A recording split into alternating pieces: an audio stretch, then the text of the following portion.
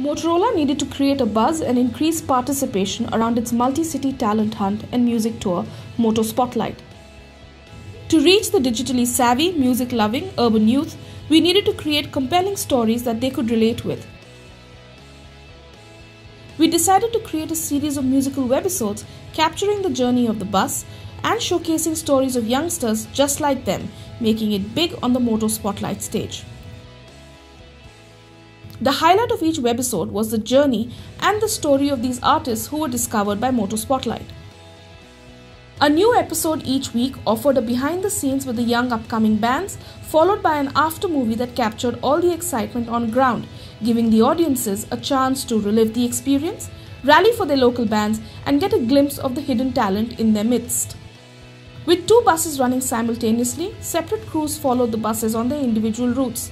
The shoot involved liaising with multiple partners on ground and online to put forward one synergized story. Each episode was turned around in a matter of 72 hours after the shoot, and the results have been spectacular. Over this three month campaign, the webisode reached over 41 million people, garnering 75 million impressions, and the Moto Spotlight trended nationwide for 10 days. But most of all, it brought forward the unique talents of many local artists and bands while working as a platform to take their fresh sounds across local borders to a national audience.